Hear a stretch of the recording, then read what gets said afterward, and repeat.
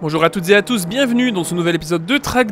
Aujourd'hui, direction la petite piste de Zandvoort, aux Pays-Bas, pour tester une voiture dont le développement est au tout début, eh, mais qui ne manque pas de détails, la Ford Fiesta XR2.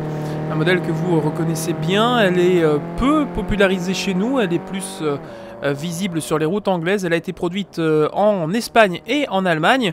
Et ce modèle, qui n'est pas très beau de base, eh bien, débarque dans Assetto Corsa. Vous pouvez le retrouver dans la description pour le télécharger. Quelques petits points techniques sur cette voiture.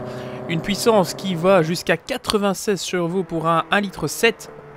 C'était le meilleur moteur proposé à l'époque une vitesse maximale qui oscille entre 140 et 180 selon le modèle et un poids de 870 kg à vide.